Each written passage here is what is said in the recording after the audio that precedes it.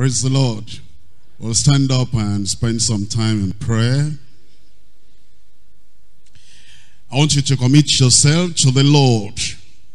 That the Bible study tonight will profit you and benefit you and not only that, prepare you, solidify what you know, your knowledge, so that you'll be able to teach other people, instruct other people with confidence that what you know become so solid, so sound, that you'll be able to take this knowledge and direct other people who are being misled in this pathway to life eternal. That the Lord will give you the grace. You'll not just be a hearer of the word alone. You'll be a doer of the word, always remembering what the Lord Jesus Christ has been teaching us all these months and years in this sermon on the mount. Pray that the Lord will give you the spirit of understanding and that you'll not be a forgetful learner but with commitment and consecration you pledge your loyalty, faithfulness, obedience unto the Lord. In Jesus' name we pray. And everybody said, Amen. Heavenly Father, we do thank you for our Bible study tonight. Thank you for all your people who are here ready to listen, ready to learn. Thank you for all the other locations where we're hearing your word. Oh Lord, we pray, direct us into the depths of the truth of the word in Jesus' name. And we're asking, oh Lord, that your word will enrich every one of us. Will prepare us for the heavenly glory. Protect us, Lord, as we walk in this way. The way that leads to life eternal. That will not miss our way in Jesus' name. We thank you because we know you have answered. In Jesus' name we pray. Thank you very much. You can sit down. We come to Matthew chapter 7. And tonight we're looking at verse 15. Matthew chapter 7. Verse 15. Beware of false prophets, which come to you in sheep's clothing, but inwardly they are ravening wolves just that verse of scripture. And it opens a lot to us, both in the Old Testament and in the New Testament. To start with, there are people that feel that preachers should only talk positive, encourage people, stir up the hearts and emotional people, almost entertain people, and never speak about anything negative. They think of the warnings of the scripture as negative. They think of when you are when we're drawing your attention to danger and we say this is a place, a point of danger. Beware. Oh, they say that is negative. Other people feel that when you read a verse like this, or when you say anything like this, you are criticizing others. They say in the spirit of unity, in the spirit of love, in the spirit of fellowship, accommodate, tolerate, live and let others live. Do what you want to do and let other people do what they want to do. But here is the Lord Jesus Christ, our Savior. Here is our Lord. And he's a shepherd over the sheep. And he knows quite very well that there are people that are teaching the truth. There are people that are teaching error. And that this is an age-long problem. That the false prophets had been there from ages gone by. And at the time of Jesus Christ, they were still there. And after the time of Jesus Christ, into the Acts of the Apostles, into the epistles, the time of those early leaders of the church, the false prophets will still be there. And until the end of time, until this present moment, the false prophets are still here. That's why the Lord then warned the people. He said, this is a reality. Uh, you understand that immediately Adam and Eve got to the Garden of Eden. And God said, This is the way to keep what you have the treasure that you have, and the possibility, the presence, the power of God, the provision you have in the Garden of Eden. That was the truth. And the way to remain in that fellowship with the Lord is to keep on obeying the word of the Lord. It wasn't long until something else happened. A personality came up and said, as God said, there is always a person, a prophet, a preacher, a personality trying to contradict the word of the Almighty God. And if you're not careful, you'll pay attention to them. You will lend your ears to them. That's why Jesus said, beware of false prophets which come to you. Oh, you say, I will, I will not go to them. This is my church. And this is the place I learn. I, I, I don't go about. I don't stray here and stray there. It says they will come to you. If you don't come to them, if you don't go to them, they will attempt to dissuade you, persuade you to go another direction. It says, which come to you in sheep's clothing. And then it says, but inwardly, the ravening wolves. And so the Lord wants us to understand that, yes, there is the positive, there's the negative too. There is the truth. There is error too. There are faithful prophets of God. There are false prophets too. And that we need to be able to look at what we hear. Analyze what we hear. Match what we hear with the word of God. And ask, is this true? Is this according to the word of God? And whatever anybody says, that's always what how we're to measure that's how we're to do it. And we're to say, we're going back to the law and to the testimony of the Lord himself. Anybody, no matter the qualification, no matter the popularity, and no matter how sweet or how, how eloquent they may be, if they do not speak according to the word of God, the Bible says it's because there's no truth in them. In fact, it tells us in Isaiah chapter 8. Isaiah chapter 8. I'm reading from verse 20 to the law and to the testimony. If they speak not according to this word, it is because there is no light in them. Therefore, the word of God is saying, don't be deceived. And don't think everybody that carries the Bible has something to tell me, has something to say. No, they may say the wrong thing. Everybody that answers the title of a preacher, a pastor, a prophet, has something to reveal to me. No. They may reveal something that is wrong. Everybody that comes with a message from God, from the Almighty, and he says, I prayed, I fasted, and have something, I have a message for you. Everybody that comes with a message has something to tell me. No.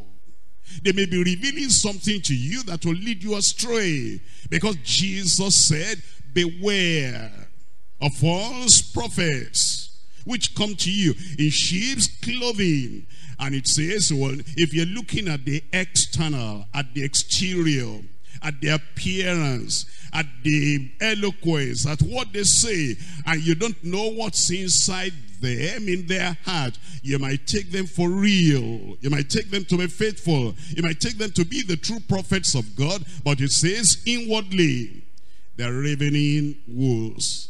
You see the people that listen to Jesus Christ for the first time when he said, beware of false prophets, if they were thoughtful, they would have remembered the great evil that the Old Testament prophets that they, they caused in the land of Israel. Because you see, Israel as a nation knew the great evil that the prophets did to their kings, to the whole nation. The, the spiritual blindness on the whole nation was the result and the consequence of the blindness and the hardness of heart of their prophets, their teachers, and their leaders the disobedience of the children of Israel, the rebellion of the children of Israel, and then the judgment that came upon them in form of captivity and prolonged suffering. All those things that came upon the nation, they were caused by the false prophets in the land while they were out of the right way. And they were going the wrong direction. And they were now in the broad way, in the way of corruption, in the way of the pagans, in the way of the heathens. Their false prophets were showing them that everything was all right. They were still okay. There was nothing wrong with them. And the few prophets that rose up like Isaiah, like Jeremiah, like Ezekiel, those false prophets, they denounced them. They said, don't mind them. Harsh prophets, cruel prophets, prophets of doom, prophets of judgment. And they labeled them as people that nobody should listen to. But actually, those false prophets destroyed the people. When those faithful prophets rose up to call them back to the narrow way, that is to the way of righteousness and to the way of life, the false prophets hardened their hearts to continue in the broad way of sin. What did they tell them? What they said, there's peace for everybody. God created us and he loves us. And he's too kind and too gentle and too loving to put punishment on anybody. That God is so nice, is so kind, whoever we are. He knows our frailty. He knows our problem. He knows we cannot obey the commandments of God. Don't feel guilty. They said discard your guilt, condemnation. Let there be no guilt or condemnation in your heart. Don't listen to Jeremiah, to Ezekiel, to Isaiah, to all these other people. They don't have any other thing to do. That's why they're just prophets of doom. And he told them there'll be peace for everybody. Look at Jeremiah chapter 6. I'm reading verse 13 and verse 14. Jeremiah chapter 6, verse 13 and verse 14. For from the least of them even unto the greatest of them, everyone is given to covetousness. And from the prophet, even to the priest, everyone dealeth falsely. You see that? The prophet and the priest, they were dealing falsely. They were not sincere. They only told the people what they wanted to hear. Uh, you know, there are times we don't want to hear some things. That's natural to the people who are, do, who are going the wrong way. And they don't want anybody to challenge them because the evil will is convenient to them.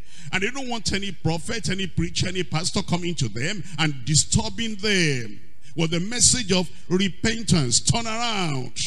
But isn't that what we need? You know, when we're sick, the medicine may look bitter. And nobody likes to swallow any bitter pill. But that's exactly what we need. And if uh, somebody will come to us and say, don't mind that doctor. All he has is all this bitter pill. I have some chocolate for you. And I have some sweet, sweet things for you. He'll say, that's my friend. That's your enemy. He wants to kill you. That's, that's a killer. That's a murderer. It's a, right, it's a true prophet that brings the message from God. And it says, this may look bitter. It's bitter for a moment now, but you know, it will preserve you from destruction and damnation in, in the great beyond. That's the true prophet. Look at verse 14. They have healed also the hurt of the daughter of my people slightly, saying, peace, peace, when there is no peace. That's what the false prophets did. That's what they said. That's how they spoke. Peace, peace, and yet, there was no peace in Jeremiah chapter 8, verse 11. Jeremiah 8, 11. For they have healed the hurt of the daughter of my people slightly, saying, Peace, peace, when there is no peace. Look at Ezekiel chapter 13. In Ezekiel chapter 13, you still find the same thing. As you look at verse 10, Ezekiel 13, 10. Because even because they have seduced my people, saying peace, and there was no peace. You see, that's what the prophet, if you listen to many, many people, there's no message of repentance. There's no warning. And they don't alert the people of the coming judgment. They don't remind us that the axe is laid at the foot of the tree. And every tree that does not bring forth good fruit will be cut down and cast into the fire. Awake, turn, turn ye, O house of Israel, for why will ye die? They don't remind us except ye repent, ye shall not likewise perish. Everything is just peace, peace, soothing message, comforting message for those who are in the wrong way. And yet the Lord is saying judgment is coming. Do you know the effect of the message of those false prophets on the children of Israel in those days? The same chapter 13 of Ezekiel verse 22. Ezekiel 13 verse 22. Because what lies have ye made the heart of the righteous sad? With lies have you made the heart of the righteous sad? You know, they said all that righteousness is just punishing himself. It's not necessary. All that walking in the narrow way, being narrow-minded, old-fashioned, all that is not necessary all that strict righteousness and keeping according to the word of God. I can't do this, I can't do that. That man does not have any liberty. That's what they say. And they make the heart of the righteous sad. And then it says in that uh, verse 22, because what lies have ye made the heart of the righteous sad, whom I have not made sad and strengthened the hands of the wicked that he should not return from his wicked way by promising him life. That's what he did. For the people who are wicked, for the people that the Lord was saying, repent. If you continue in sin, you will perish. They said, don't listen to that. Everything will be all right at the end. They say many roads lead to Rome. And many paths will lead to that heaven. They say some people believe in holiness. Other people believe in joy and happiness. Other people believe in worship. Other people believe in just have a nice time. Just believe the Lord. Raise up your hand and believe on the Lord Jesus Christ. At the end of the day, everybody will be all right. That's what it was saying. And it is not so. And the Lord is saying that these false prophets, that is strengthened the hands of evildoers, that they will not return from their evil. We are promising them life instead of reminding them they are on the way of death. Beware of false prophets could have been reaching on the sky above the nation of Israel for all to read and for them to remember constantly. Uh, do you know what the false prophets of Israel did? To the children of Israel in the Old Testament. Number one, they made them lose the blessing of Abraham. Now, God said, I'm going to bless Abraham and all your descendants. But when those people went astray and the false prophets encouraged them to remain in that evil way, they lost the blessing of Abraham. Number two, the covenant blessings were no longer theirs. The covenant blessings. I'll give you peace. I'll bless your land. I'll bless everything. You'll be the head. You'll not be the tail. They lost that. Number three, they were under the brutal rule of a foreign nation. Nebuchadnezzar came and carried them all away and destroyed their city and burnt Jerusalem with fire because of the effect of what those false prophets did. Number four, there was spiritual blindness among their leadership. Until the time that Jesus came, the spiritual blindness was still there. They were blind. They couldn't see. They couldn't even see that Christ was the Messiah. Number five, the glory, the past glory of Israel had departed with no hope of restoration in view. Number six, the nation have been trodden down under the feet of the Gentiles. Number seven, they were slaves and captives in their own land. Why? All because of the sustained influence of false prophets. Now Christ had come in fulfillment of the long-awaited promise. The Lord had said, the Lord God will raise up unto thee a prophet from the midst of thee. Unto him ye shall hearken and I will put my words in his mouth. And he shall speak unto them all that I shall command him. Now Jesus Christ had come in fulfillment of that promise of God.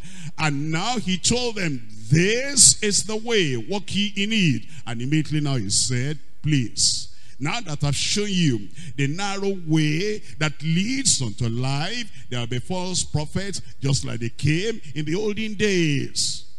And that's why he said, beware of false prophets, which come to you in sheep's clothing, but inwardly they're ravening wolves. As we look at that verse, the study tonight, and the study itself is just simply titled, Beware of False Prophets. It's divided to three parts. Number one, the history.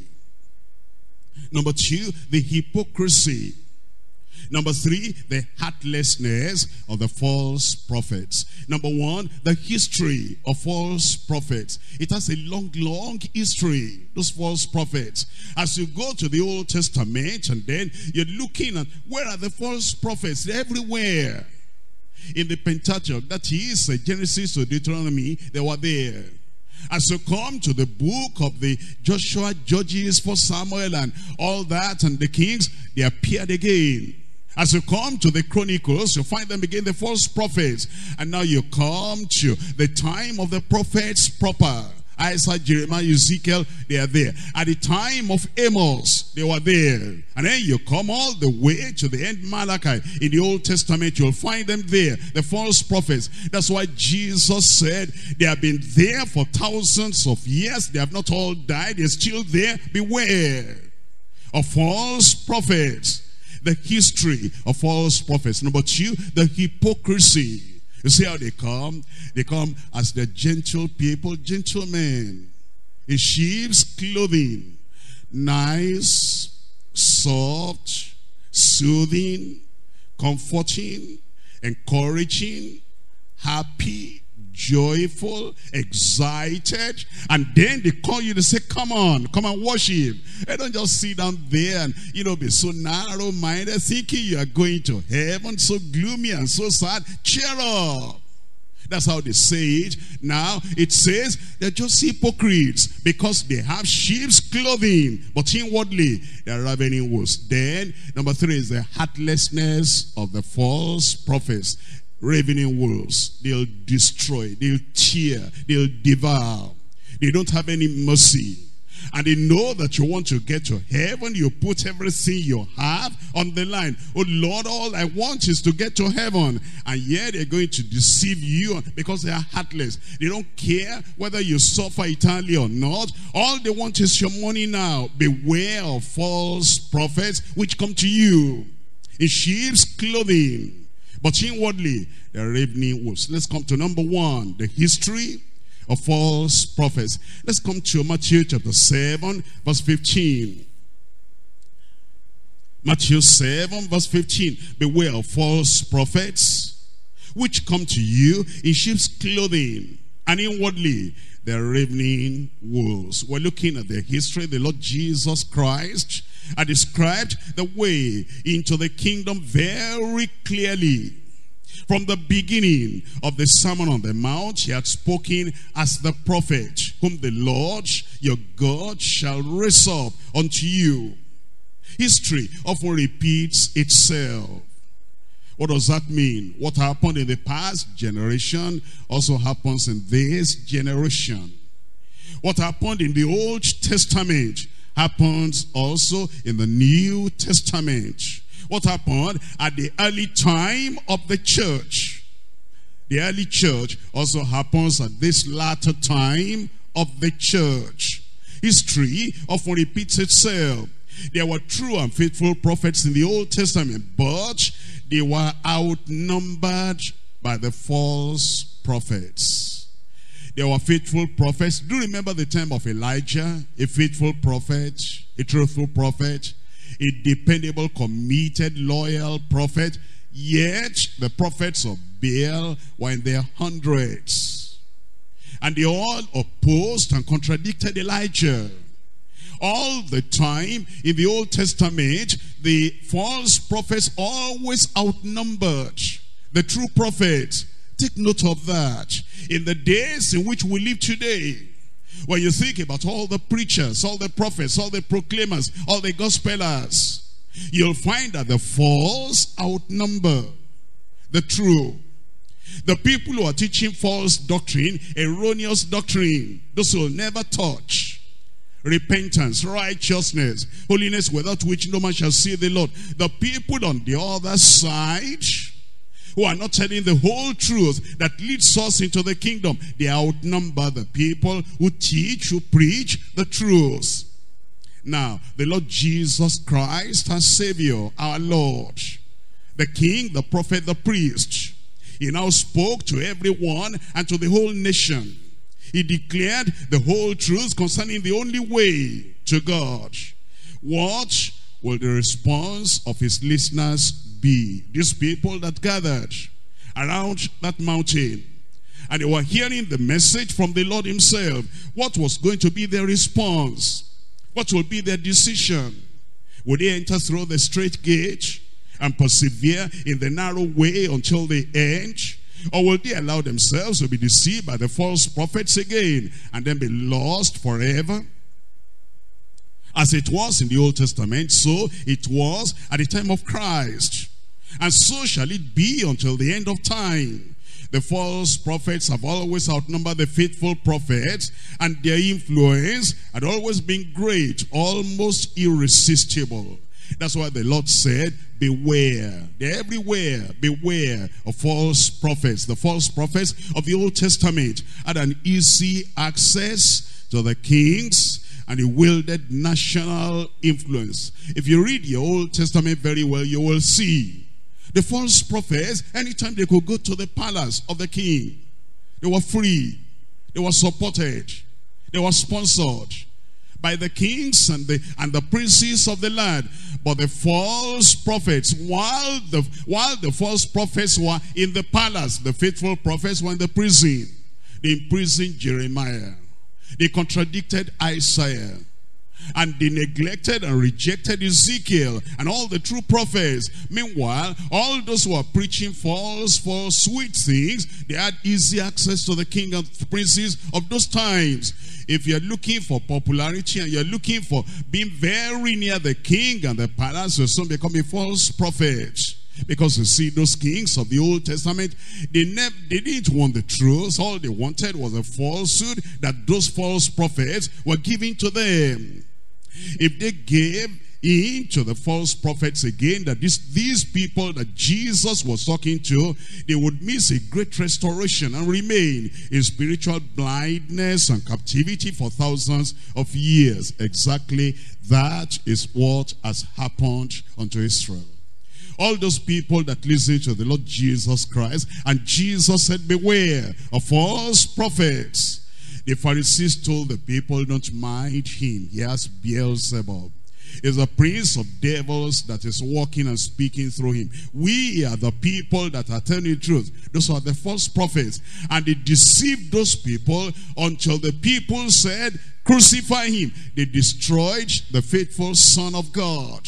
And then they held on to their false prophets. And the Lord is saying, beware so that that does not happen to you. And let's look at this history we're talking about. We're looking at Deuteronomy chapter 13. Deuteronomy chapter 13, Moses was faithfully telling the people that I've given you the truth. I've shown you the true way, but the false people will come. In Deuteronomy chapter 13, verse 1, If there arise among you a prophet or a dreamer of dreams, and giveth thee a sign or a wonder, and the sign of the wonder come to pass, whereof he spake unto thee, saying, Let us go after other gods, which thou hast not known, and let us serve them. Thou shalt not hearken unto the words of that prophet or that dream of dreams, for the Lord your God proveth you to know whether ye love the Lord your God with all your heart and with all your soul. Ye shall walk after the Lord your God and fear him and keep his commandments and obey his voice. And ye shall serve him and cleave unto him. And that prophet or that dreamer of dreams shall be put to death because he has spoken to turn you away from the Lord your God, which brought you out of the land of Egypt and redeemed you out of a house of bondage to thrust you out of the way, out of the way, out of the way. That's what prophet, what false prophets do. That's why they do what they do. That's why they say what they say. They want to turn you away from the way that the Lord has put your feet in. It says, so shall ye put evil away from the midst of thee. Do you see so early in the history of the children of Israel that this man of God was warning them. Moses, before he left, he said, those dreamers will come. Those false prophets will come. And they'll try to thrust you away out of the way which I put your feet in. Isaiah chapter 28. Verse 7. The history of the false prophets. Isaiah 28 verse 7. But they also have erred through wine. And through strong drink are they out of the way. The priest and the prophet have erred through strong drink. Now already you can begin to tell they don't care. Alcohol, strong drink, hard drugs, illegitimate things. They don't care about that. All they do is just preach all they do is just prophesy. All they do is just deceive people. As for strong drink, they're for age. Whatever the world is drinking, they drink. Whatever the world is doing, they do. And whatever the world is entertaining themselves with, that's what they entertain themselves with. And it says the priest and the, and the prophet have erred through strong drink. They are they are swallowed up of wine. They are out of the way through strong drink. You see that? They are out of the way. If somebody is out of the way, how can he lead you in the right way? Those false prophets, that's their history. That's what they were in the past, and that's what they are still today. Jeremiah chapter 2, I'm reading from verse 8. Jeremiah chapter 2, we're looking at verse 8. In Jeremiah chapter 2 verse 8, here is what the Lord is telling us about these prophets. He tells us in verse 8, The priest said not, where is the Lord? They don't care about the Lord. All they want is, you know, they already know what to do. They can do everything they want to do without even opening the Bible. They can preach what they want to preach without giving attention to the Lord to be at the center of everything they say. They don't care about the word of God, about the law of God, about the demand of God, about the desires of the Lord. They don't care about the kingdom of God. And God is not at the center of their goal, of their dream, of their purpose, of their ministry, of their worship. The priest said not, where is the Lord? And they that handle the law knew me not. That is, those who are not even born again. They do not know the Lord in any way. And they try to handle the word of God. The pastors also transgressed against me. And the prophets prophesied by Baal. And watch after things that do not profit. But you see, the average man, the common man who goes to church may not know that. We don't know their lives during the week. Once they come and they dress like preachers, like pastors, like evangelists. We do not know their inner lives and the lack of understanding. And if they're able to stand up and demonstrate and dramatize and then just get you interested and get the people to clap and to smile and every, every, everybody thinks everything is all right. But he says, they prophesy by Baal. That's why the Lord Jesus Christ is telling the people who are interested in getting to heaven, beware of false prophets they come to you in sheep's clothing, but inwardly they're ravening wolves. It tells us in chapter 5 of Jeremiah, Jeremiah chapter 5, I'm reading from verse 30 and verse 31. A horrible sin, a terrible sin, a wonderful and horrible sin is committed in the land. The prophets prophesy falsely. You see that? The prophets prophesy falsely. And the priests bear rule by their means. And my people love to have it so. God was surprised that these were descendants of Abraham and they had heard the word of the Lord for generations, centuries, and many years. Now, they went into all these assemblies, and then the prophets and the priests will come and prophesy by Baal, and the priests will rule by their means. That is, by their means, what that means is that they have their own law now, their do's and don'ts, their principles, and they say, this is our tenet of faith. And everything, they abandon the word of God. They abandon what God has said. All that the Bible says, thus says the Lord, thus says the Lord. They abandon that one. They said it's a modern time. There's a, uh, a, eh, there's a new time, a new era, a new dispensation. Who wants to know what the Bible says? They said that's not for today. And then they now prophesy and preach by their means. And then the surprising thing is, and my people love to have it so. Nobody, nobody says, but this is not the Bible. This is not the word of God. They just support and encourage those false prophets. The prophets prophesy falsely. And the priests bear rule by their means. And my people love to have it so. I pray you'll not be among them. We're looking at Lamentation chapter 2. Lamentation chapter 2. Lamentation is the mourning, the crying, the weeping of the true prophet saying things are bad. Things have gone rotting. Things are terrible. And look at the situation of the people of God today. And everything is because of the false prophets, because of the false teaching of those uh, many preachers and many prophets. Lamentation chapter 2, I'm reading from verse 14. The prophets have seen vain and foolish things for thee. The prophets have seen vain and foolish things for thee. Uh, have you noticed that, you know, many of these, uh, they call them, whatever name they call them. I'm not particular about anyone or anybody, but, you know, uh, there's so many churches and there's so many assemblies. And there's so many fellowships. And all they do is just prophesy a word of the Lord for you. A word of the Lord for you. And the people, the men and the women, you know, they rush to them. Do you have a word for me from the Lord? Do you have a word for me from the Lord? And the fellow has nothing.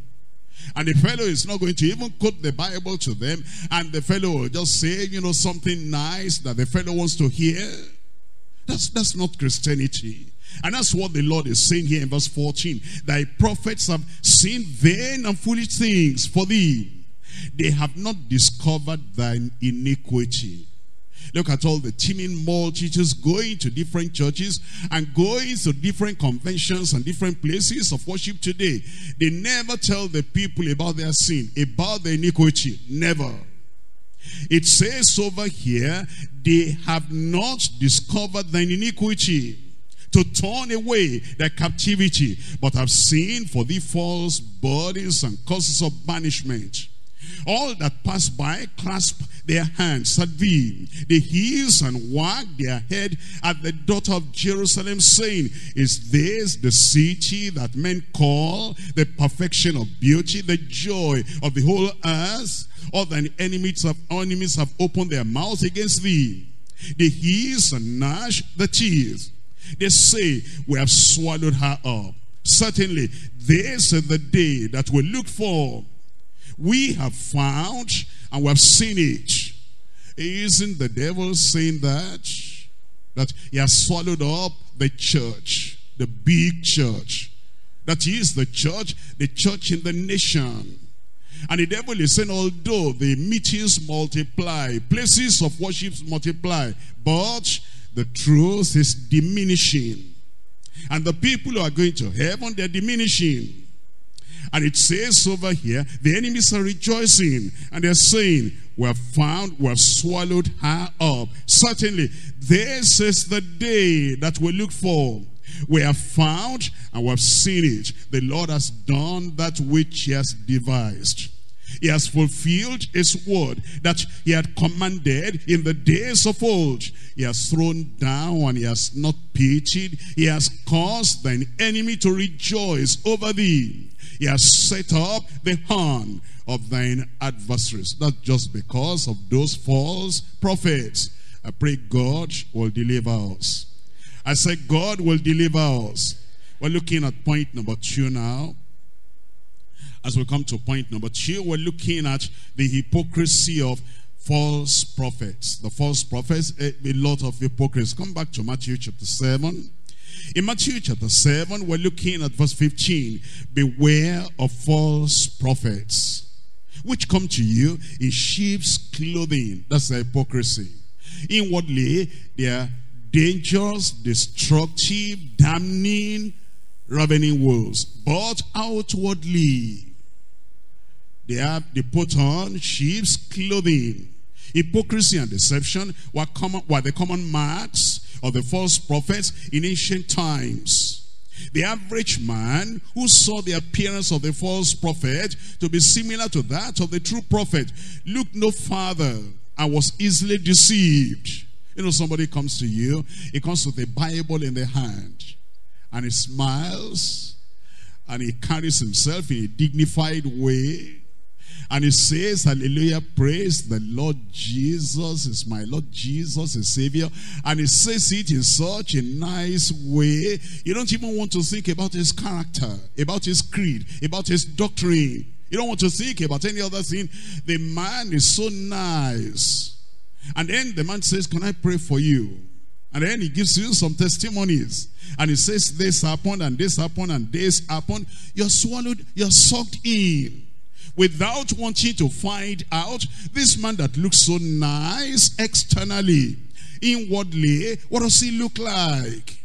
This man that looks so gentle, so accommodating, so tolerant, and so loving, and so nice, and so inviting, and then everything external looks so good. What is he on the inside? That's what you need to find out. They come to you in sheep's clothing, but inwardly they're ravening wolves. And that's the hypocrisy and the deception. And the average person will not be able to tell the difference between the false prophet and the true prophet. The false prophets wore sheep's clothing as if they were true prophets of God. And their followers did not know that inwardly they were ravening wolves. Uh, do you know that's what the Lord wants us to always check up what goes on on the inside. And you'll find, you know, somebody, and sometimes somebody is talking so nice and everything looks so good. And then you say, this looks like what I believe. This looks like, you know, what we have been taught all these years. And then you say, praise the Lord. It looks like it's not only our church that is teaching the truth. And then maybe in the next uh, sentence is going to make, then he says, uh, well, uh, you know, God is so loving. He, you know, put off his other wife and now he has uh, this second wife and, and having such a wonderful time together, praying together, fasting together, fellowshipping together. Then you're short. He said, but look at this man who was talking so nice. I thought we just believe the same thing. And now he's talking about another thing. That's why you need to beware. And to be very careful, beware of false prophets which come to you in sheep's clothing inwardly. That's what you look at inwardly. The exterior, the outward life is very different from the inward life from the internal. And look at Luke chapter 11. Luke chapter 11. I'm reading from verse 39. Luke chapter 11, verse 39.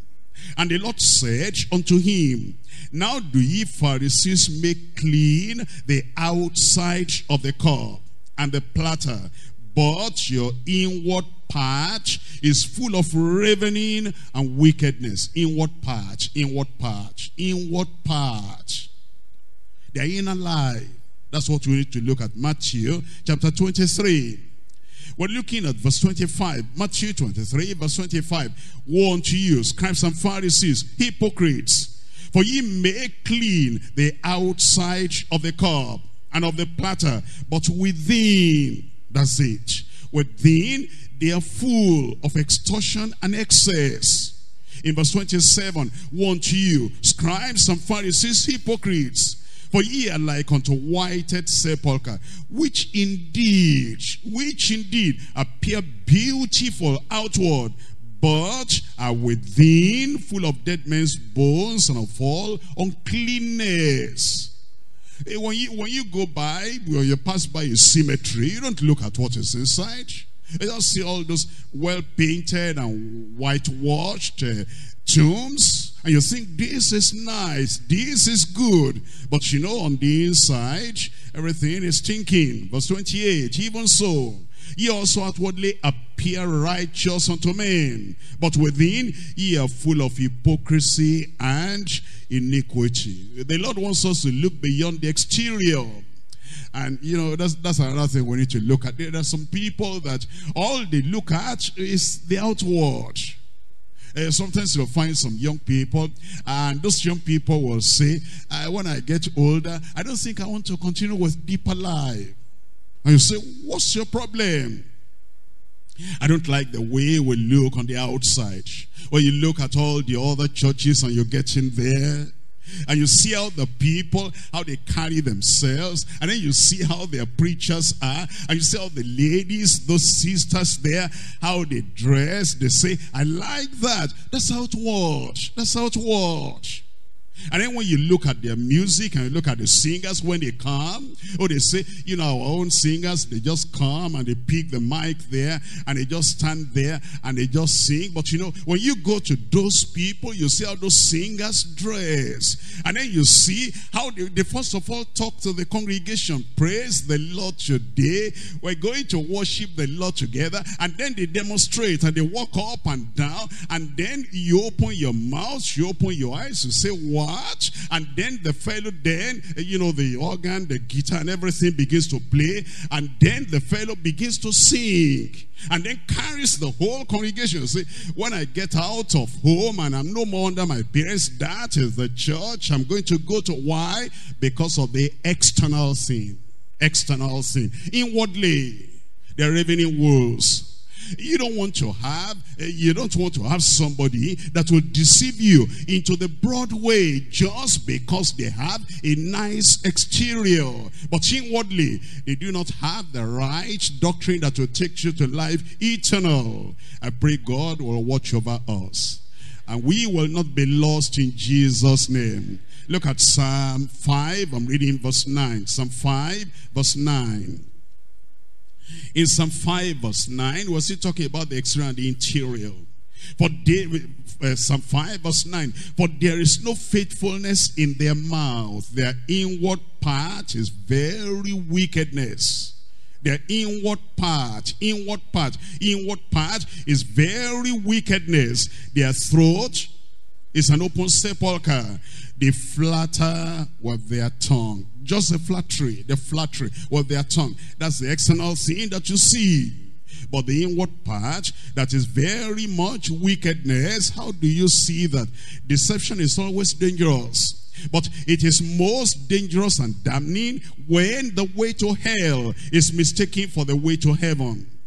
The messages of the false prophets were fatally deceptive. The messages of the false prophets, fatally deceptive. In fact, the Bible says that over and over. The false prophets prophesy falsely. Another passage says, from the prophet even to the priest, everyone dealeth falsely. Another passage says, the prophets prophesy lies in my name. They prophesy lies, but they will not say, now, I'm saying this from Satan. Never. They never accept that they are influenced by Satan. They say they have the Spirit of God. They might even give you testimony when they are filled and baptized and saturated with the Spirit of God. And then they say, I tell you now, then they begin to say, thus says the Lord. And it says, in the name of the Lord. And yet it's a lie, falsehood, deception, damnable error, falsehood. That's why you need to be careful. The prophets prophesy lies in my name. The prophets walk in lies. Let not your prophets deceive you, for they prophesy falsely unto you in my name. You see, the effect of the deception the hypocrisy of the false prophets was terrible and devastating on every individual and all the families of the whole land of Israel. For many centuries, even until this generation. And look at what the Bible says concerning the effect of what they preach and what they said. Jeremiah chapter 2, verse 8 again. Jeremiah chapter 2. Looking at verse 8 again. It says in verse 8, the priest said not, Where is the Lord? And they that handle the law knew me not. How can somebody who does not know the Lord make you to know the Lord? How does somebody who is blind make you see? How can somebody who does not know the way point the way to you? And then it goes on in that verse 8. It says, the pastors have also transgressed against me. Uh, you know, it's, um, it's not good to go into sin. Let's say, for example, somebody goes into sin and is struggling and is hiding it. And he doesn't want the church here to know because uh, he knows that if the church knows, they'll rebuke him. How could you do that? He might even be disciplined. And because he's running away from the temporary challenge, so we can put him right and go the right way. He says, I will go to another place. And then he goes to another church. And this last Sunday was with us. The following Sunday you find him in another place. And then the other fellow there, the preacher there, the pastor there, the prophet there is preaching. And he says, uh, you know, we welcome everybody. And then he says, whatever you have done, don't mind. Even those of them who are preaching there, that, you know, they too, nobody can live above sin. And if the Lord will mark iniquity, will stand. And he says, we're all sinners, whether preacher or prophet or member, anybody. It's only by the mercy and the grace of God we can, we can breathe. Everybody is sinning. And you are sitting down there.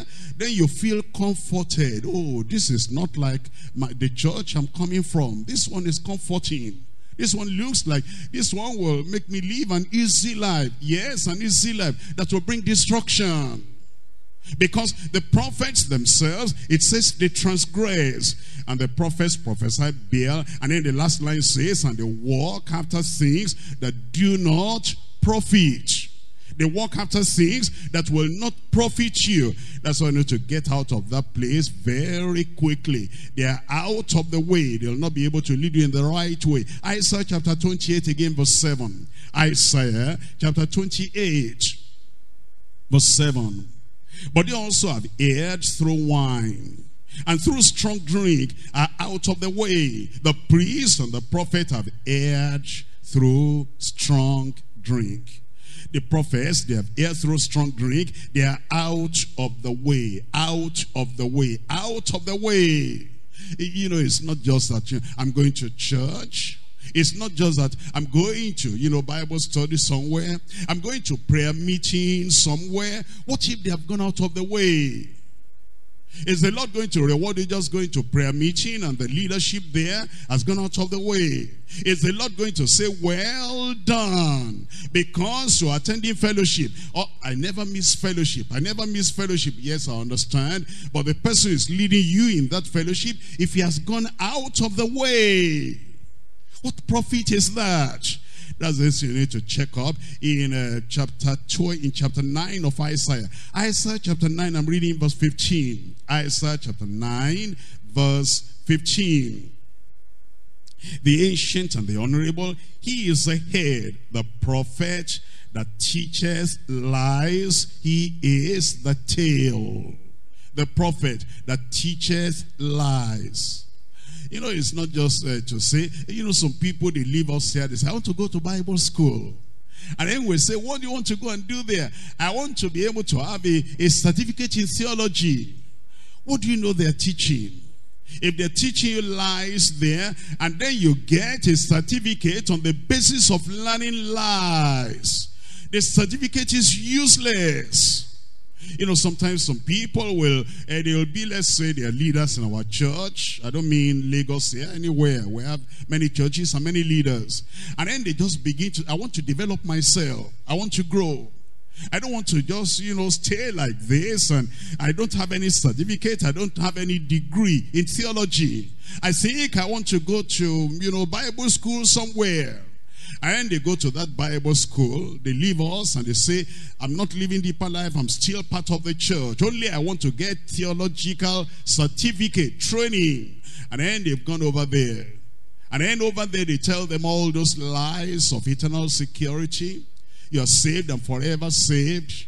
Even if you sin, if you die in sin, never mind. God is so nice, he's still going to take you to heaven. And then they write their exams on eternal security and all those other things.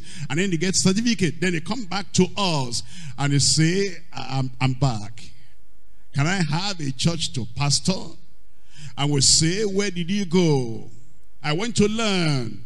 Now I'm ready to teach. What are you going to teach? The lies they taught you over there. There's no place for teaching lies here. It says over here in that uh, verse 15, it says the prophets that teaches lies, he is the tail. Be very careful that you are not under a teacher, under a leader that is teaching lies. In Jeremiah chapter 28, Jeremiah chapter 28, I'm reading from verse 16. Jeremiah 28, Verse 16, Therefore thus says the Lord, Behold, I will cast thee off from off the face of the earth.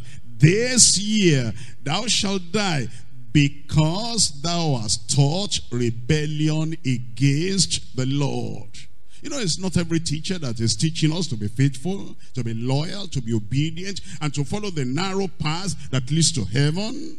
There are some people that are teaching rebellion against the word of the Lord. That simply means they're teaching false doctrine and they're teaching something contrary to the truth of the word of God, those are the false prophets. They are hypocritical. They're very dangerous. Chapter 29, Jeremiah 29, verse 32.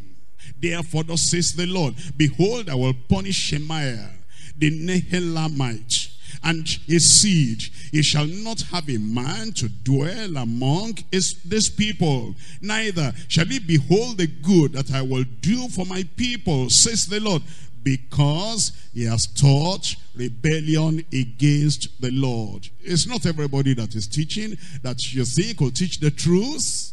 There are people that teach error falsehood, deception, damnable error. And he teach rebellion against the Lord. I read this before in Ezekiel. I'll read it again. Ezekiel chapter 13. In Ezekiel chapter 13, we're looking at verse 22. Because with lies ye have made the heart of the righteous sad, whom I have not made sad what does that mean? You know, somebody has been saved and he has the grace of God and the grace of God that bringeth salvation has appeared unto all men, teaching us that denying ungodliness and worldly laws, we should live soberly, righteously, and justly, unblameably in this present world. And that fellow, by the grace of God, is living, is watching his tail, is very careful, and is making sure that he matches his life with the word of God. And then one day he goes to maybe in the church, in the city where he went, and there is no, no church, no regular church that he has been attending there. And he goes to this other church and then the preacher comes. And then he looks at all the people. And then he, while he's preaching, he says, huh, how many of you here say you are believers and you don't commit sin? And that you are holy, you are righteous, you have the grace of God in your life. And every day you're living a righteous life. And then that preacher says, where are you? Raise up your hand. And then the, the brother thought that he was a genuine preacher, a genuine pastor, wanting to encourage him and wanting to encourage the congregation, saying that you see, it's possible to live a righteous life. And then the brother raises up his hand, he looks around, and he's the only one raising up his hand. And then the pastor says, stand up. Where are you coming from? Okay, you are new here today. Ah, no wonder you raise up your hand. You know, anybody who says he's not committing sin is a hypocrite. You're a hypocrite. You're committing sin. Didn't you march on ant while you were coming? That's a sin. Didn't you look at uh, women like this? Well, that's a sin.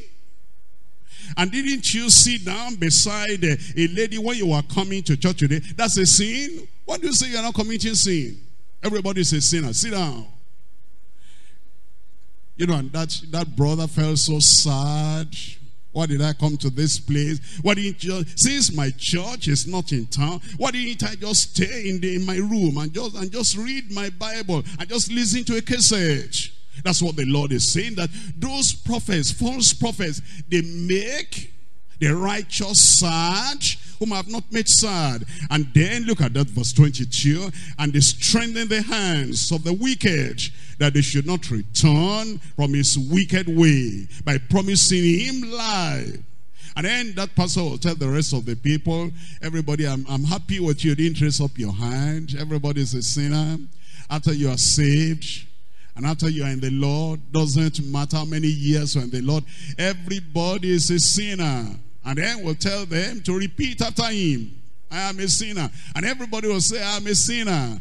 All right, now the grace of God is available for every one of you. Keep on sinning and keep on enjoying the grace of God. Such people will never think of repenting because they have public encouragement to continue in sin. And that's what the Lord is saying, that those false prophets, they encourage and strengthen the hands of the evil doers to keep on doing evil and they promise them life. I pray you will not be like that. Give me a good amen. Jeremiah chapter 14. In Jeremiah chapter 14, I'm reading from verse 13. Jeremiah chapter 14, reading from verse 13. Then said I, Our Lord God, behold, the prophets say unto them, Ye shall not see sword, neither shall ye have famine. But I will give you a short peace in this place. Then the Lord said unto me, The prophets prophesy lies in my name. I sent them not. That means they were deceivers. I sent them not. And then it says, Neither spake unto them. They prophesy unto you a false vision and divination and a sin of naught and the deceit of their own heart. Therefore, thus says the Lord, concerning the prophets that prophesy in my name, and I send them not. Yet they say, sword and famine shall not be in this land. By sword and by famine shall those prophets be consumed. And that's why you need to watch and be very careful. Micah chapter 3. In Micah chapter 3, we're reading from verses 11 and 12. Micah chapter 3, verse 11. The heads thereof judge for reward, and the prophets thereof teach for hire. The prophets thereof divine for money. The divine for money. The prophets, the preachers. They do what they do because of money. And then there are some people, if another church, local church, will pay them more than what they have in the present church, they'll quit the present church and go to the other church. It's where you have the bigger pay, the bigger money. That's why they want you to go. They are not interested in the people who want the truth, who want to go to heaven. All they want is where they'll be able to get a bigger pay. And then it says the prophets divined for money. Yet will ye lean upon the yet will they lean upon the Lord and say, Is not the Lord among us? None evil can come upon us. And then he tells us in verse 12, Therefore shall Zion for your sakes be plowed as a field, and Jerusalem shall become heaps, and the mountain of the house as the high places of the forest. Now we come to point number three, the heartlessness of the false prophets. We're looking at Matthew chapter 7, verse 15. Matthew chapter 7, we're looking at verse 15. Beware of false prophets. That's a warning. Which come to you in sheep's clothing. Their hypocrisy, their deception. But inwardly, they're ravening wolves. That's their heartlessness. Inwardly the ravening wolves. We're looking at Jeremiah. Uh, see what the Lord himself called these prophets and see the wickedness, the cruelty, and the murderous nature that they have, they exhibit, they demonstrate. In Jeremiah chapter 4, verse 9, And it shall come to pass at that day, says the Lord, that the heart of the king shall perish, and the heart of the princess, and the priest shall be astonished, and the prophets shall wonder. Verse 10, Then said I, Ah, Lord God, surely Thou hast greatly deceived this people and Jerusalem, saying, Ye shall have peace, whereas sword reaches unto the soul. Their souls were about to perish. But the prophets came, they said they came from the, from the Lord.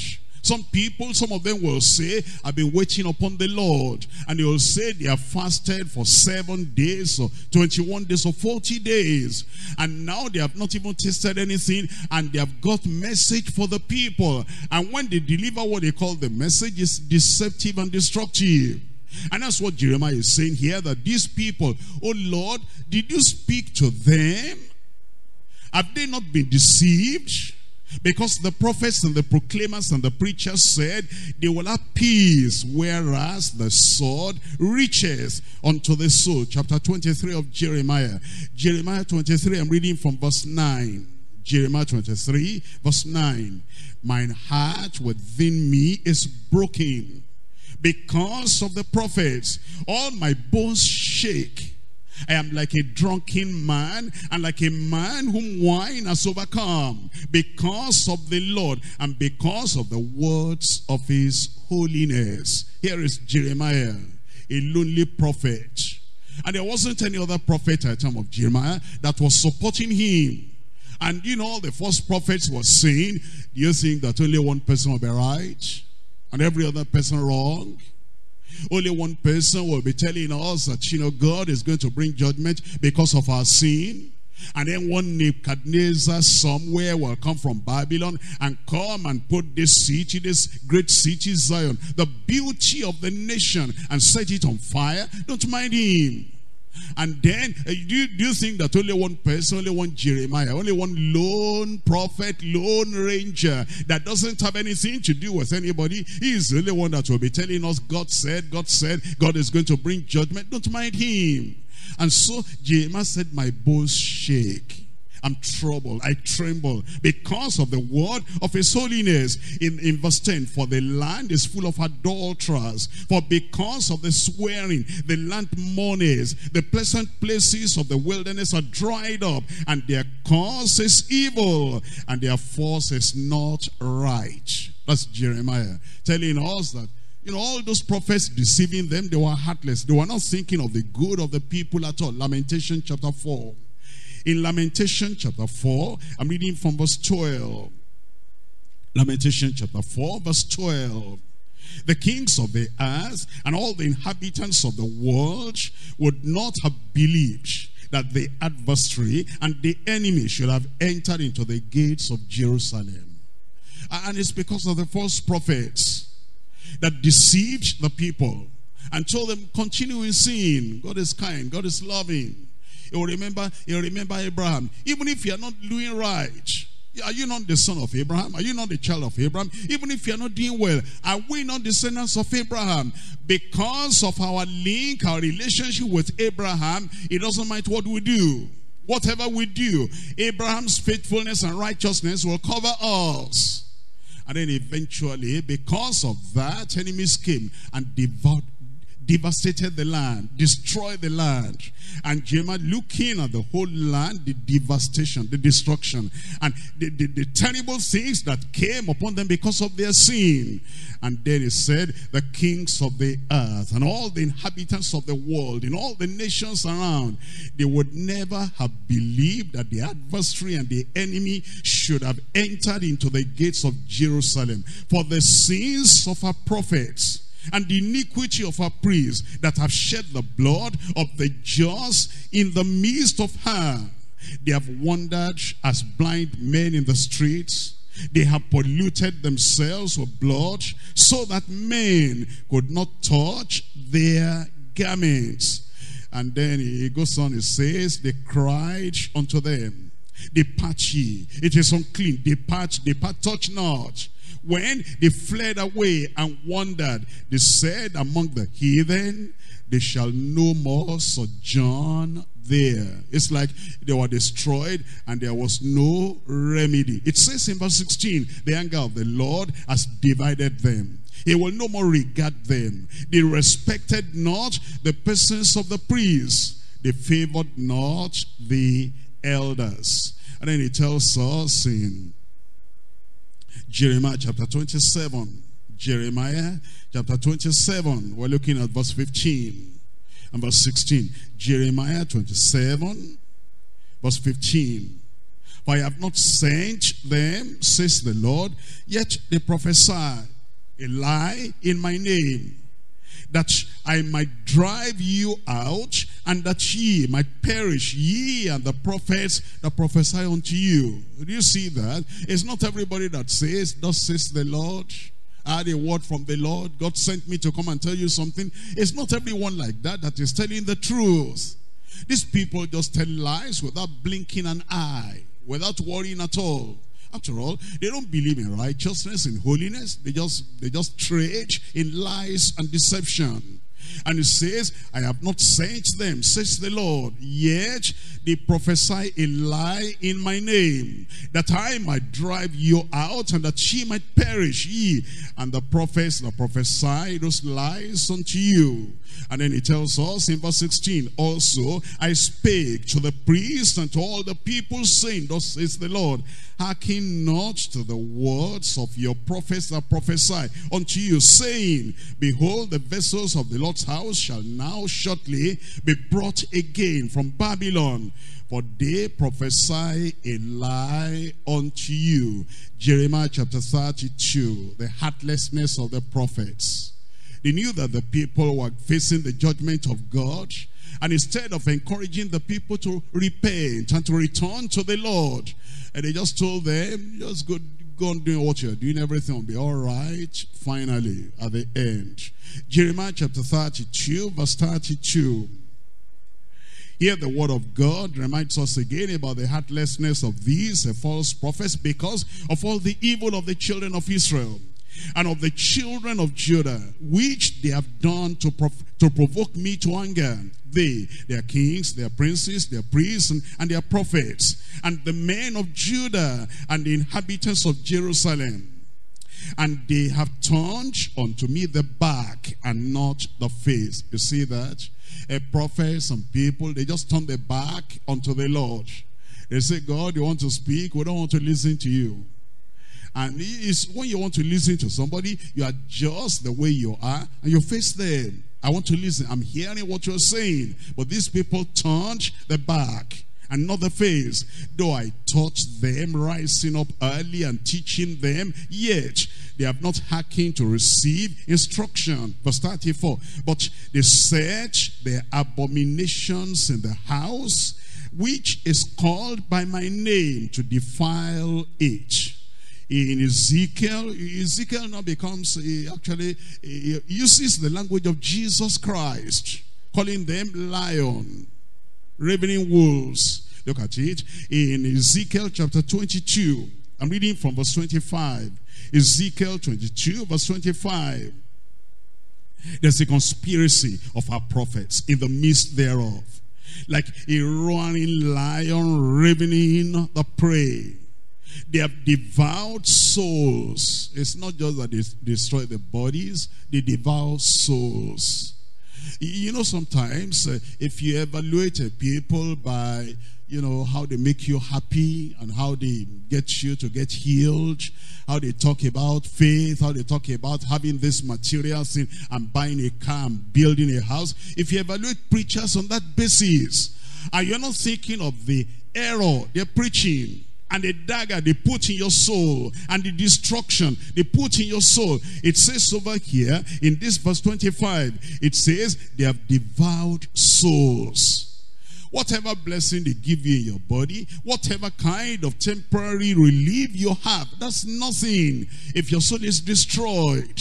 It says they have devoured the souls, they have taken the treasure and the precious things, they have made how many widows in the midst thereof. Then he says in verse 26, a priest have violated my law. A priest, the leaders, they violated the law of the Lord and they have profaned my holy things. They have put no difference between the holy and the profane. Neither have they showed the difference between the clean and the unclean. They just mumble everything together, mix everything together. Everybody is all right. Clean, unclean, holy, unholy, righteous, unrighteous. Everybody were going to the same place. That's what they say. But it's deception.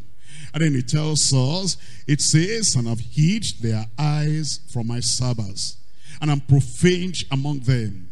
Our princes in the midst thereof are like wolves ravening in the prey and shed to shed blood and to destroy souls. To destroy souls. You see, that's what we'll be looking for. What those prophets preach, what those preachers preach, what those pastors emphasize. Does it help any soul to come alive in Christ? Or is it just destroying them? Making people to go from bad to worse? And the people that were living moderate Christian lives before righteous lives before, they get into those places, then they become careless. And they just feel that, you know, eh, there's no reason to be careful, to watch and to pray and to resist temptation and to live a righteous life. After all, everybody is getting to the same way eventually. And that's why it says, they destroy souls to get dishonest gain. I pray that they will not catch you. I said they will not catch you. But that means that you will not go in their direction. Because if you go the direction of the false prophet, and then you open your ears and open your eyes, you listen to their tapes and read their books, and then say, they will not catch you. When you deliberately put yourself in the trap, they will not catch you. In First Kings, we're looking at it from chapter 13. First Kings, chapter 13. I'm reading from verse 1. And behold, there came a man of God out of Judah by the word of the Lord unto Bethel. And Jeroboam stood by the altar to burn incense. And he cried against the altar in the word of the Lord and said, O altar, altar, thus says the Lord, Behold, a child shall be born unto the house of David Josiah by name. And upon thee shall he offer the priests of the high places that burn incense upon thee. And men's bones shall be burnt upon thee.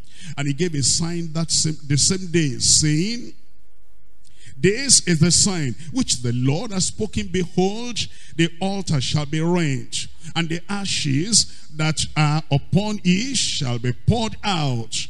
And it came to pass when the king Jeroboam heard the saying of the man of God, which he had cried against the altar in Bethel, that he put forth his hand from the altar, saying, Lay hold on him. And his hand, which he put forth against him dried up so that he could not pull it in again to him. This was a real child of God, a man of God. The Lord sent him to come and tell this king the real truth.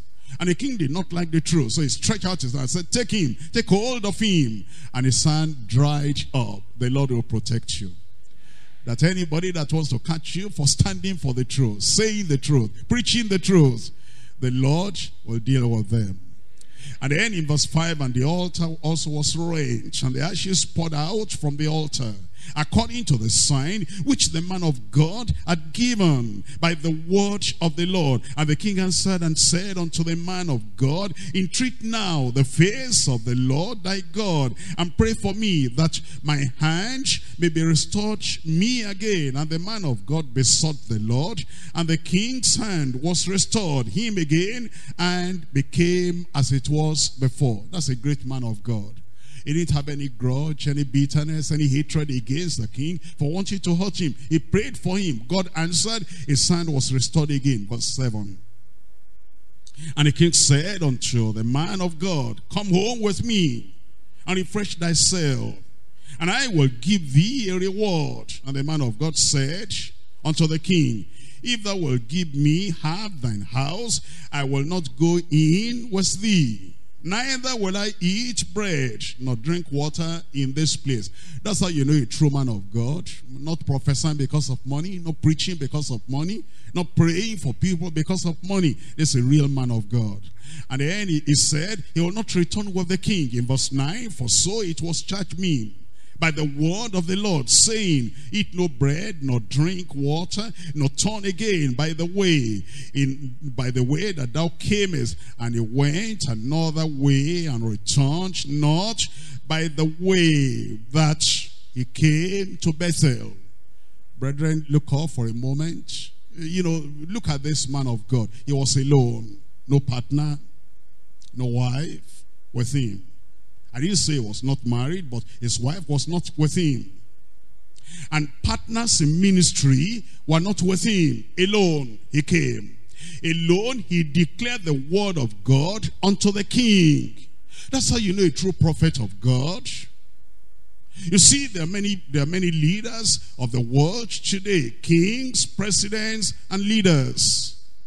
And if we are true prophets of God, their position, their stature will not change our message, will not modify the message, will declare the message of the word of God as the Lord has spoken it. And you'll not be afraid of the face of man. And you know they have the power, they could hurt you. That's why the king stretched out and said, take hold of him. Somebody that sees me like this standing here as the king of the land. And he could tell me that kind of prophecy. I'm going to deal with him. God will protect us.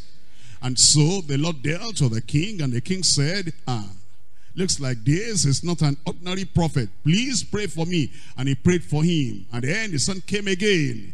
And now, eh, you know, if the, if the devil does not catch you through persecution, he'll try to catch you through prosperity. You know, the devil is very wise. If he cannot catch you by putting some pain and pressure on you, he'll catch you by easy life. He'll give you a gift. And he says, okay, man, I will not fight you again. It looks like you're a good man of God. Thank you for praying for me. Now, come home with me and refresh yourself and eat and drink. And the man said, no. Can you reject gift? Can you reject money? Can you reject worldly favor? Because you know the gifts will shut your mouth. Once you begin to, you know, once you begin to dine and feast and eat and go here and there, and you become friends, you become familiar people.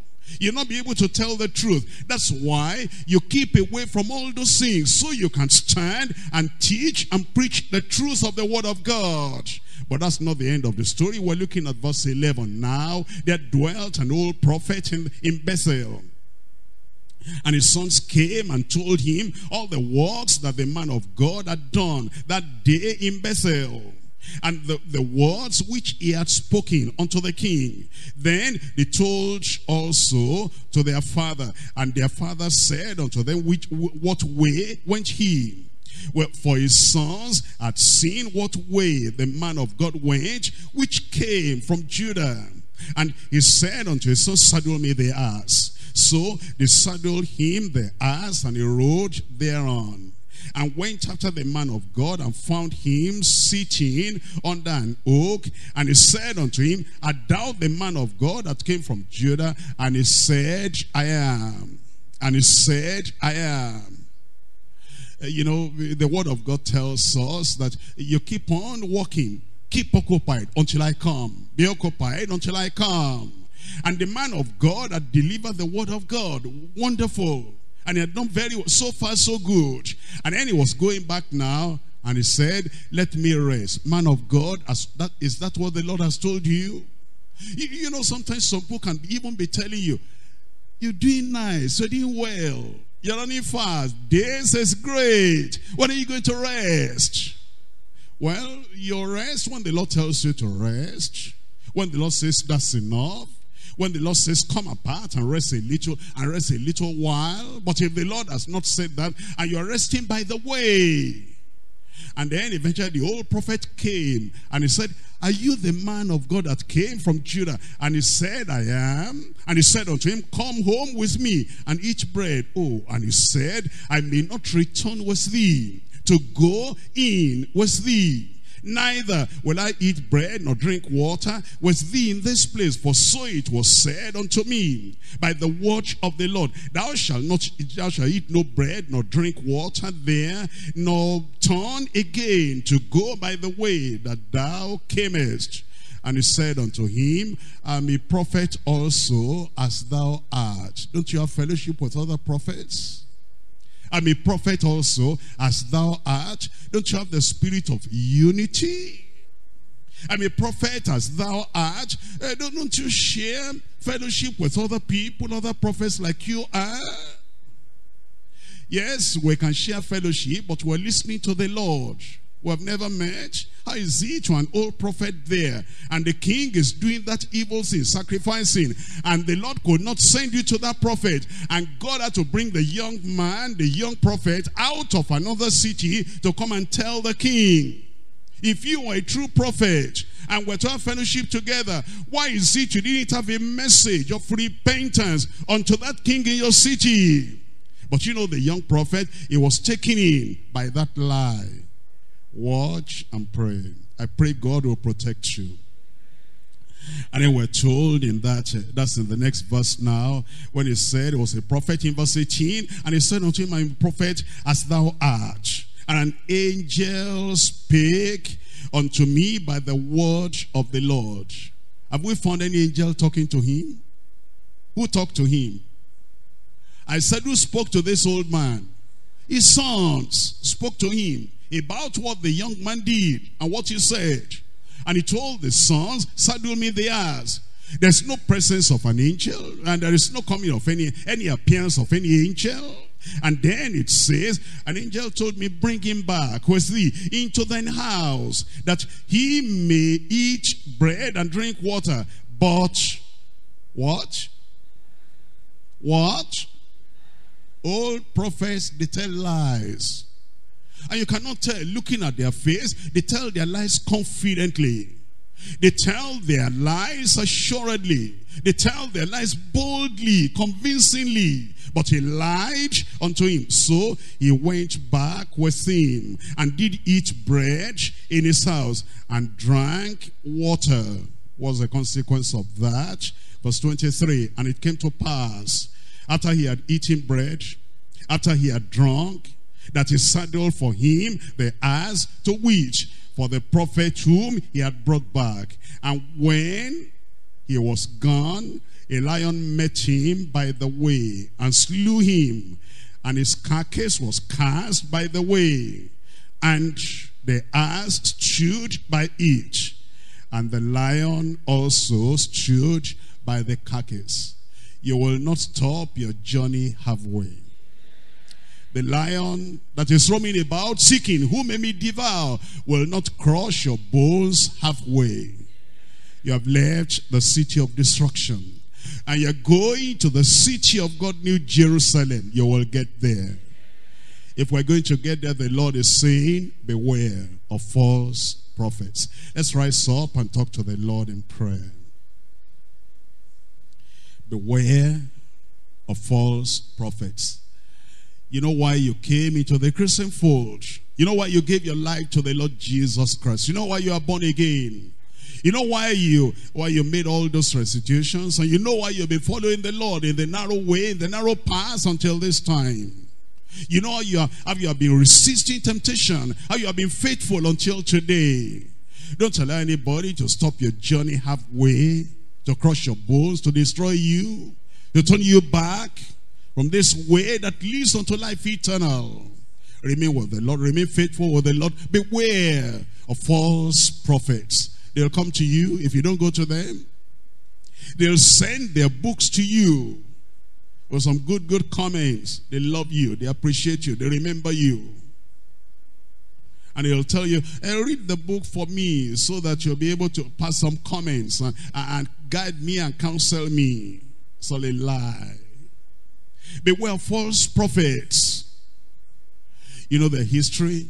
They were the people that destroyed the nation of Israel. Beware. Don't think you're too clever, you're too wise, or too sharp, you're too intelligent for them to catch you. They've destroyed people who are wiser than we are. They have led astray people Oh, who are more serious than we are. Beware. Don't lend them a listening ear. Don't give them any attention. Their history shows us they're very dangerous. They're very deadly. And they want to devour your soul. They want to destroy your soul. They want to damn your soul. Beware.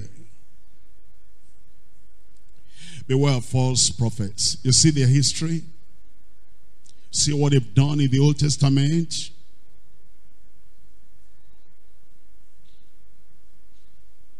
You see they preach and prophesy lies. And they say those lies and tell those lies and preach those lies and proclaim those lies convincingly, courageously. For the sake of your soul, for the sake of eternity, beware of false prophets. They come to you in sheep's clothing. They look so gentle, so meek, so humble. They almost look shy and timid. They look so submissive and so gentle. As if this one can never harm anybody. As if this one looks like he has a good intention. Sheep's clothing. But inwardly, that you don't know. Inwardly, inwardly, their motive, their desires, their plan, their agenda is to destroy you. Inwardly, they are ravening wolves. Inwardly, they are aggressive. They may look gentle outside. Didn't you see how Absalom did it? Absalom was so nice, gentle, loving, caring, humble before the people, but inwardly, that man had a deadly, destructive agenda. Have you heard about Balaam? How can I curse whom God has not cursed? The Lord has blessed, and I cannot reverse it. Let me die the death of the righteous. And let my end be like his. But he was one that counseled Balak to put stumbling block before the children of Israel. And they committed adultery, fornication, immorality, and thousands of them perished. And they look so gentle on the outside. They look so nice. When they come to you, look at the old prophet. An angel spoke to me to bring you back and that man of God couldn't say, God does not contradict himself. He says, I'm God, I change not. I will not alter what has come out of my mouth. The Lord told me not to go back. How can he change like that and not tell me? And he went back with him. And then the lion crushed him, destroyed him, killed him before he got back home. Stopped his journey halfway. Pray that the Lord will make you vigilant. That you'll not stop this your Christian journey halfway. That you'll not listen to the voice of the false prophet. No matter how tempting, how charming, how eloquent, how sweet you take heed to the words of Jesus. Beware, beware, beware of false prophets. They come to you in sheep's clothing. Inwardly, the secret hidden purpose, the ravening wolves The Lord loves us. That's why he's giving us the warning. Listen to the voice of love. To the warning of the shepherd. Beware.